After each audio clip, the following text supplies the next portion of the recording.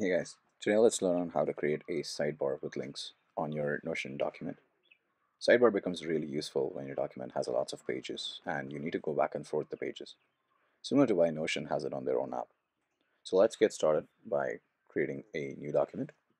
So first of all, you need to create a couple of pages to get started. So I'm creating a page called home and uh, I'm going to copy paste a couple more pages. Done. So next you need to create a certain type of element which is available on Notion called the synced block. So the sync block is going to help sync all your sidebars across all your pages. So it's not like duplicated links, but actual or singular links, which is going to be synced across the pages. Now copy paste this entire sync block and uh, keep pasting it in all your documents one by one. So once you're done with that, you'll essentially have a sync block of links which is going to appear on all your pages and it is going to link to each and every page similar to how a sidebar works on any navigation on your websites.